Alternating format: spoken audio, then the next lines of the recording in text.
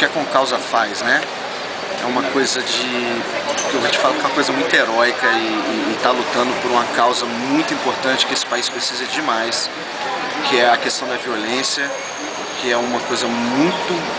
que está aí na cara e, e, que eu acho que o governo né, em si assim, deveria estar tá dando muito mais atenção e ajudando as pessoas que estão correndo atrás disso, né? Porque eu, você vê na própria Baixada, né? Um lugar onde você, você, ouve falar muito, eu sou de Brasília, é, mas pô, você fica escutando, ah, chacina não sei aonde, não sei o que, lá na Baixada e tal.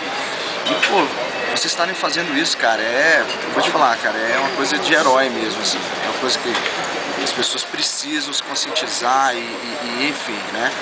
e o próprio governo tomar uma atitude séria aí na raiz, e, enfim.